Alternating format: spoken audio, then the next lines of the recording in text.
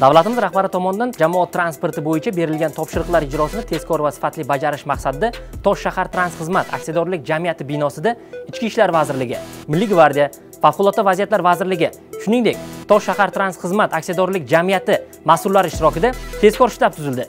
Tezkor shtab xodimlari jamoat transporti yuzasidan tahlillarni olib borish hamda tegishli zaruriy chora tadbirlarni belgilash bo'yicha ish olib borishmoqda.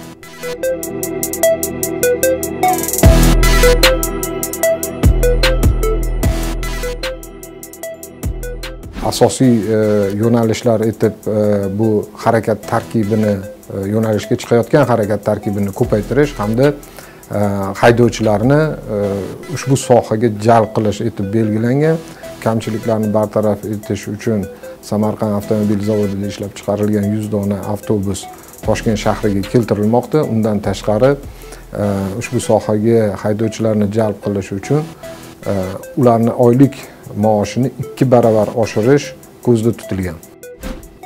Jamoat transporti hisoblangan avtobuslarni boshqarish uchun haydovchilarni ishga qabul qilish bo'yicha tosh shahar transxizmat aksiyadorlik jamiyatining rasmiy telegram kanali orqali e'lon berildi.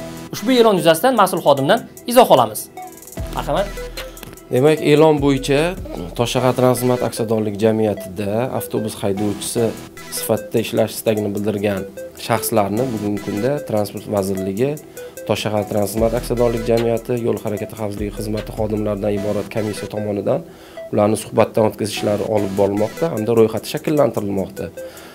Ushbu haydovchilarni e, suhbatdan o'tganidan so'ng ish bilan ta'minlash ishlari amalga oshiriladi. Bundan tashqari e, d toifaga ega bo'lmagan haydovchilarni ham e, ishga jalb qilishlari amalga oshirilmoqda. Bunda ularni d toifaga qayta tayyorlash ishlari toshshahar transxizmat hisobidan bepul amalga oshiriladi. Hamda ularga shu o'qish muddati tugagunga qadar to'qqiz yuz yigirma ming so'mdan stipendiyalar to'lab borilishi belgilangan. Hamda ular o'qish tugatganidan so'ng ularni shu avtobus haydovchi sifatida ishga qabul qilinadi. Berilgan e'lon bo'yicha murojaat qilib kelgan haydovchilikka nomzodlarni ro'yxatga olish hamda tegishli hujjatlarni rasmiylashtirish bo'yicha ishlar ichki ishlar vazirligi jamoat xavfsizligi departamenti yo'l harakati xavfsizligi xizmati mas'ullari tomonidan olib borilmoqda.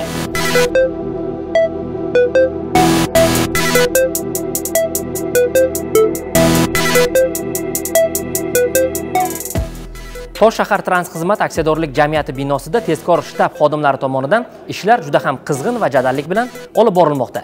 Ma'lumot uchun ichki ishlar vazirligi tasarrufida bo'lgan 30 dan ortiq yo'lovchi tashuvchi avtobuslar yo'nalishlarga chiqish uchun 7 sonli avtobus saroyida tayyor holatga keltirildi.